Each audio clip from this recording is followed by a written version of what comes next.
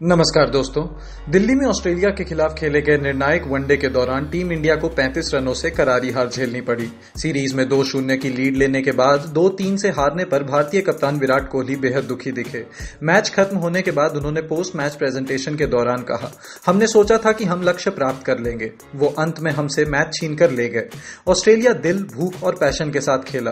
खासतौर पर ऑस्ट्रेलियाई टीम ने पिछले तीन मैचों के दौरान मुश्किल परिस्थितियों में अच्छा खेल दिखाया, जिस तरह उन्होंने परिस्थितियों को संभाला, वो जीत के हकदार थे। हमने मैच के दौरान ड्यू को गंभीरता से नहीं लिया। पिछले दोनों मैचों में भी ड्यू ने अपना असर दिखाया। हम इसके दुष्प्रभाव को कंट्रोल नहीं कर पाए।